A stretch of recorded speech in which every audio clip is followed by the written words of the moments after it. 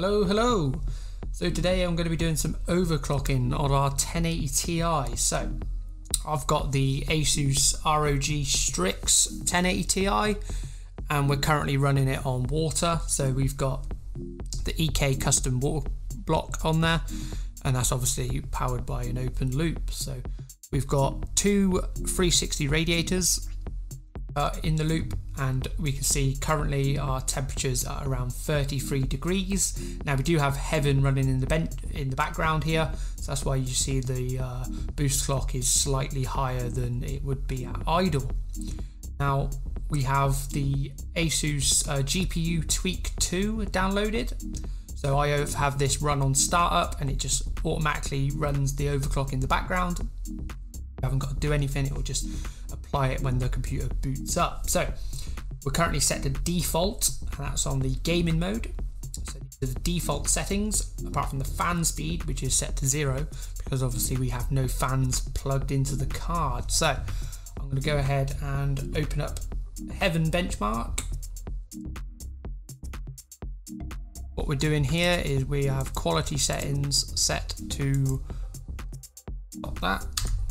So we have our quality settings to ultra and we are currently at let's change this to let's just keep it at 1080 Ti.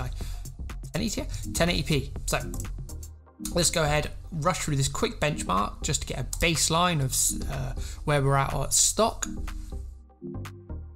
So at stock we can see here our temperatures at the moment at 42 degrees. That should rise to about 48 degrees and our boost clock has gone up to 1900 megahertz.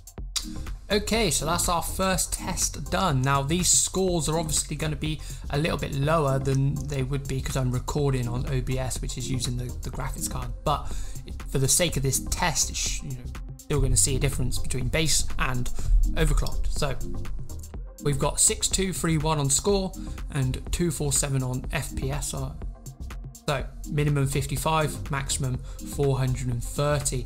Now we see our clock, uh, it didn't boost above 1900 megahertz and we had about 200 watts on the uh, power draw. So let's go ahead now and apply our overclock. Uh, this is my preset one. We've got power target plus 120. We've got our memory clock overclocked there to 14470, which uh, I think it's 5725 and then we've got our GPU GPU boost clock up to 1735 but again that will boost to about 2030 yeah 2035 so let's go ahead rerun the test and see what we get now. So here we are with 2476231 that's the number to beat. Our temperature is currently 45 degrees. Let's see what we get now Straight away, our boost clock has now jumped up to 2050. Now it averages out to about 2035 and our temperature has gone up to 47 but it averaged out about 48 last time I tried it.